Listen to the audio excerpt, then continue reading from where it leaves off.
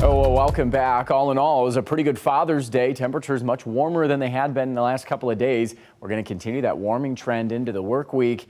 And we have been contending with a little bit of that wildfire smoke on the horizon. Murky skies here in Muskegon on the time lapse today, but the water's very, very calm. Winds were nothing more than 5 to 10 miles per hour out of the south to southwest. Boaters were active in and out of the Muskegon Channel today, as well as South Haven Beach. That was packed on our tower cameras as well. We'll continue to see that trend into the work week as well. Notice plenty of sunshine to go around. We'll just have some high clouds for Monday. Wave heights remain low uh, that's favorable with those winds out of the east northeast at 5 to about 20 miles per hour throughout all three days. Uh, but uh, water temperatures along the lakeshore, especially south of Holland, started to warm back up a touch. The latest sensor in South Haven picking up 64 degrees on the water, but that easterly wind will probably cause some upwelling where that cooler water underneath kind of flips back over, and we may see some uh, uh, cooler temperatures here later in the week.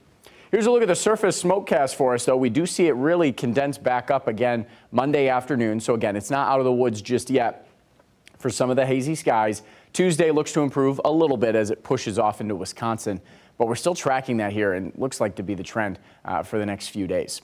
Tonight, we'll just be dealing with high clouds though across the area. Temperatures pretty seasonable in the mid to upper 50s for overnight lows. Monday, we'll continue to warm up, warmer than we were today, and we'll see gradually clearing skies through the afternoon. Tuesday and Wednesday look to be the driest days and the sunniest days and the hottest days of the week, meaning elevated fire risk is possible. We do see some rain chances in the forecast. Obviously, we've seen them kind of dissipate in the recent trends over the last several weeks, and so this rain isn't a guarantee, but it's nice to see some in the forecast.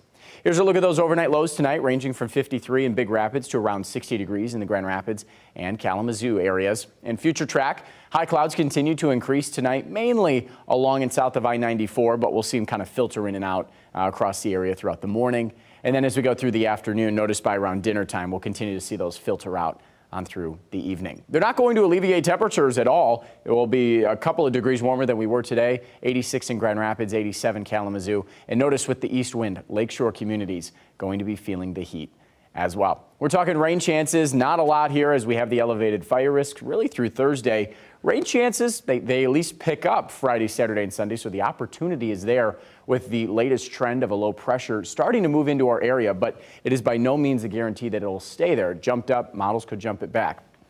Here's a look at fire risk when it comes to Monday and Tuesday. We're looking at relative humidity values, maybe as low as 25 to 30 percent on Monday, and then on Tuesday, maybe getting as low as about uh, 40 to 35 percent. So a little bit higher on Tuesday, but we are going to have a stronger wind, so that could be the bigger issue there. We do start summer off on Wednesday at 10:58 a.m., longest day of the year, and it's going to feel like summer too in the 90s, and then we track those rain chances Friday into the weekend. We definitely need it, but uh, if that low pressure doesn't develop or if it just dissipates simply because we've been so dry, then rain accumulations will remain minimal, and those temperatures in the mid 80s forecasted right now may go up a couple of degrees.